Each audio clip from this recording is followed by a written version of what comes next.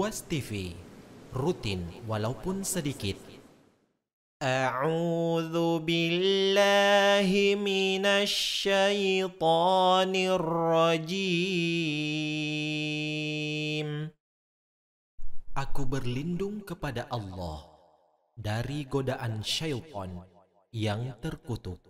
Bismillahirrahmanirrahim.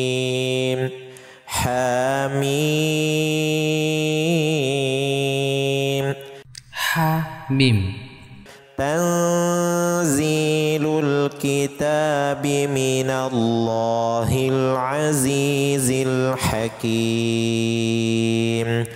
Kitab ini diturunkan dari Allah yang maha perkasa, maha bijaksana. إن في السماوات والأرض لآيات للمؤمنين Sungguh, pada langit dan bumi benar-benar terdapat tanda-tanda kebesaran Allah untuk orang-orang yang mukmin. وفي خلقكم وما يبث من دابة آيات لقوم يوقنون Dan pada penciptaan dirimu dan pada makhluk bergerak yang bernyawa yang bertebaran di bumi terdapat tanda-tanda kebesaran Allah untuk kaum yang meyakini. واختلاف الليل والنهار وما أنزل الله من السماء من رزق فأحيا فأحيا به الأرض بعد موتها وتصريف الرياح آيات لقوم يعقلون dan pada pergantian malam dan siang, dan hujan yang diturunkan Allah dari langit.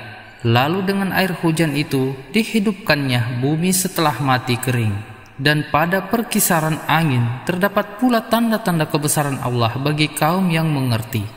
Tilka ayatullahi natluha alaika bilhaq Fabi ayyi hadithin ba'dallahi wa ayatihi yu'minun Itulah ayat-ayat Allah yang kami bacakan kepadamu dengan sebenarnya.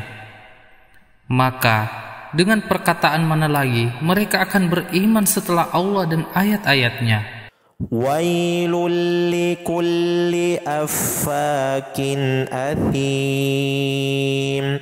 Celakalah bagi setiap orang yang banyak berdusta, lagi banyak berdosa. يسمع آيات الله تتلى عليه ثم يصر مستكبرا كأن لم يسمعها فبشره بعذاب أليم Yaitu orang yang mendengar ayat-ayat Allah ketika dibacakan kepadanya. Namun dia tetap menyombongkan diri seakan-akan dia tidak mendengarnya. Maka peringatkanlah dia dengan azab yang pedih.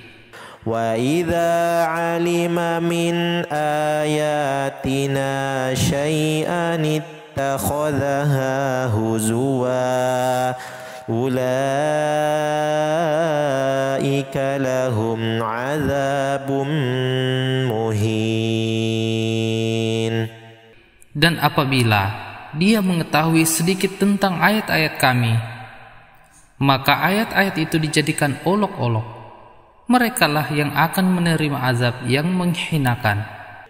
من ورائهم جهنم ولا يغني عنهم ما كسبوا شيئا ولا ما اتخذوا من دون الله أولياء ولهم عذاب عظيم Di hadapan mereka neraka jahanam dan tidak akan berguna bagi mereka sedikit pun apa yang telah mereka kerjakan dan tidak pula bermanfaat apa yang mereka jadikan sebagai pelindung mereka selain Allah dan mereka akan mendapat azab yang besar. هذا هدى والذين كفروا بآيات ربهم لهم لهم عذاب من رجز أليم Ini Al-Quran adalah petunjuk dan orang-orang yang mengingkari ayat-ayat Tuhannya mereka akan mendapat azab berupa siksaan yang sangat pedih الله الذي سخر لكم البحر لتجري الفلك فيه بأمره ولتبتغوا من فضله ولعلكم تشكرون Allah lah yang menundukkan laut untukmu agar kapal-kapal dapat berlayar di atasnya dengan perintahnya dan agar kamu dapat mencari sebagian karunia-Nya dan agar kamu bersyukur وسخر لكم ما في السماوات وما في الأرض جميعا منه إن في ذلك لآيات لقوم يتفكرون dan dia menundukkan apa yang ada di langit dan apa yang ada di bumi untukmu semuanya sebagai rahmat darinya sungguh dalam yang demikian itu benar-benar terdapat tanda-tanda kebesaran Allah bagi orang-orang yang berfikir